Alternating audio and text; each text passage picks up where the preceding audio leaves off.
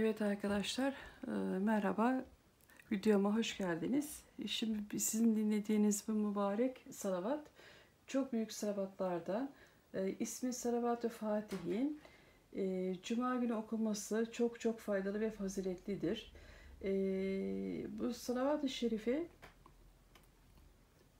bu mübarek salavat-ı şerifi ee, Allahümme salli ala seyyidina Muhammedin Fatih lima ulüke vel hatimi lima sebeke ve nasırıl hakkı bil hakkı ve vel hadi ila sıratil mustakim ve ala alihi hakka kadrihi ve miktaril azim diye başlar. Anlamı Allah'ım kapalı kapıları açan, geçmişe son veren, hakka hakikat ile destek olan, mahlukatı senin doğru yoluna ileten Efendimizin sallallahu aleyhi ve sellemin onun aile ve onun yüce kadri kıymetince salat ve selam eyle ve onu mübarek kıl.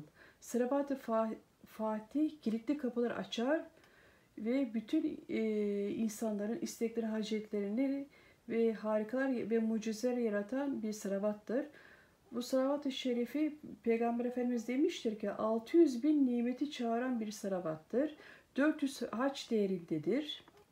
E, 400 haç değerindedir ve bu salavat ezberden okunursa yüz yüz başarı ve mutluluk getirir. Merhametli Allah merhametini kesbeder. Cehennem ateşinden insanları korur ve tüm karmaşık işlerimizi e, kısmet açılmasını, refah ve kısmet açılmasını sağlar. Gece yatmadan önce 11 defa okursak çok güzel rüyalar görürüz. Bu salavat-ı şerifi 40 gün 40 defa okuyan bağlıktan kurtulur, işleri açılır. Bu salavat-ı şerifi bin kez okuyan Peygamberim Efendimiz'i rüyasında görür. Bu salavat Yüce Allah'ın gözünde çok çok büyük önem taşır. Okuyanın üzerine barış, bereket ve Allah'ın rahmeti ve esenliği yağar. Delalet-i Hayrat'ta 70 bin okumaya denktir. Bu selavat-i şerifi okuyanların günahları affolur, yoksulluğu ve açlığı ortadan kalkar. Sabah akşam 10 defa okursa Allah'ın yardımını alır.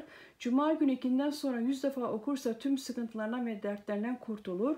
Bu salavat ezber gerekir çünkü çok büyük bir zikirdir.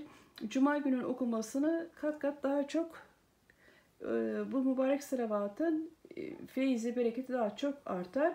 Hatta Peygamber Efendimiz'in rivayetinde 120 bin salavat-ı şerife gücünde olduğu da mana aleminde söylenmiştir. Ömür boyu günde bir defa bile olsun bu salavat-ı Fatih'i okumak imanla ölmeye delalettir. İmanla ölmekten sonra ölünmez. E, bu mübarek salavatı sizlerle paylaşmak istedim.